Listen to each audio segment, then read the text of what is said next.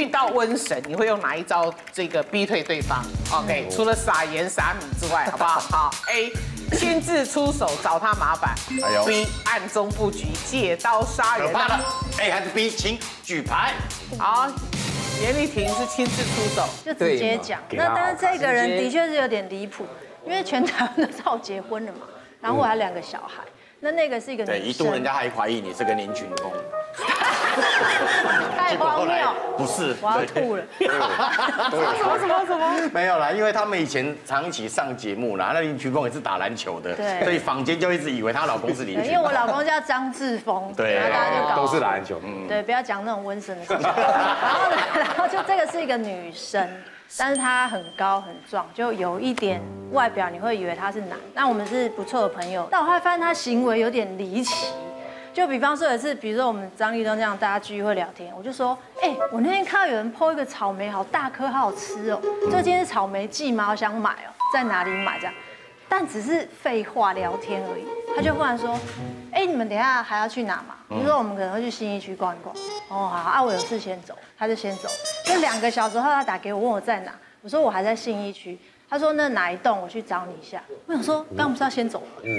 就他就抱着一盒大湖草莓，出现在我面前说：“你刚刚不是想吃草莓吗？”我想说，这一刻我想说，这已经这不是朋友吧？就是这是在追，很奇怪。然后后来我就觉得有点怪怪，那我就不太敢在他面前许愿，因 为我觉得好可怕。那有一次呢，他就说：“哎，你你不是每个礼拜几会固定录影吗？”然后你等下录完就先不要马上走，在摄影棚一楼等我一下。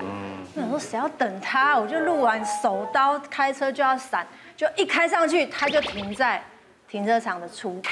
他认得我的车啊，我想说呢哇躲不掉，就只好下车。他就按开后车厢，金沙巧克力的花哇放在那里，我想说哇塞，我老公都没送过我这种东西，这不是把妹用的吗？我觉得这样很不 OK。对，所以在那个摄影棚一楼就跟他说：“哎，据我所知，这个是把妹用的，而且我没有说过我喜欢吃巧克力，你干嘛来送？”他说：“我没有，只是刚刚好经过一个就是卖东西的地方，觉得这好漂亮，你应该会开心。”我说：“我不开心啊，因为你是我老公。”我说：“你不应该要这样对我。如果你还想跟我当朋友，请你停止这一切行为，我还可以跟你出去吃吃饭。但如果你要继续这样，抱歉，朋友没得当。”哦。他就立刻傻眼，其实怒吃金沙，整数老师到你张开大嘴，没有人收下这种东西。然后后来长达半年，这人都没有再出现。但半年后，因为我生日，我朋友不知道这件事，因为我觉得给他留点面子，不要嚷嚷。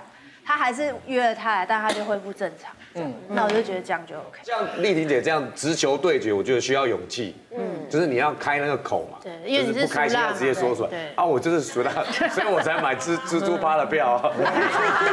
所以我我遇到了那个，我就是暗中布局。熟辣还会暗中暗中布局。然后呢，有有一种瘟神叫做前任的。嗯。因为我之前就是有一个有一个前任，然后我们分手了之后呢，好了，我就过一阵子，我在外面，我朋友一直问我说，哎。你为你为什么要劈腿，然后怎么样？我就说啊，什么意思？然后我后来才知道，是我这个前任分手之后一直说我劈腿怎么样？他见不得你。对，但是问题就是事实的真相就是，哎，是他劈腿，做贼啊！对，做贼喊抓贼，然后是其实是他劈腿，他喜欢上他喜欢上我们共我我跟他共同的一有个朋友，我就觉得他这样子讲我坏话很不好。有一天呢，在一间酒吧，我就看到那个前任，然后我就发现，哎，他旁边有一个男生跟他走得很近，然后也是会搂搂抱抱，不是他这一任男朋友。然后我想说，哎呦。哎呦，那他说，哎，那我就是那我来报复喽。然后我就 我就弄我手机，然后拍了一个线动。我只是扫扫过这个这个酒吧，就说，哎，新的酒吧好热闹这样子。哦，心机好重哦。因为我知道他他的现任这个男朋友，因为我们是共同朋友嘛，他一定会看我的线动。嗯，他就看到他那个女女生，他那个女朋友跟别人这样子搂搂抱抱。哎呦，我不然十五分钟之后，她男朋友就杀过来了。然后现场就就就大吵大闹，然后我在旁边喝着喝着莫吉托，好开心。我要你继续演下去，你要去劝，哎，别这样，别这样，哎呀，大家都。好不是，是把它固定，不要让它跑，你懂吗？别这样，别这样，别这样，别这样。另外照，另外照。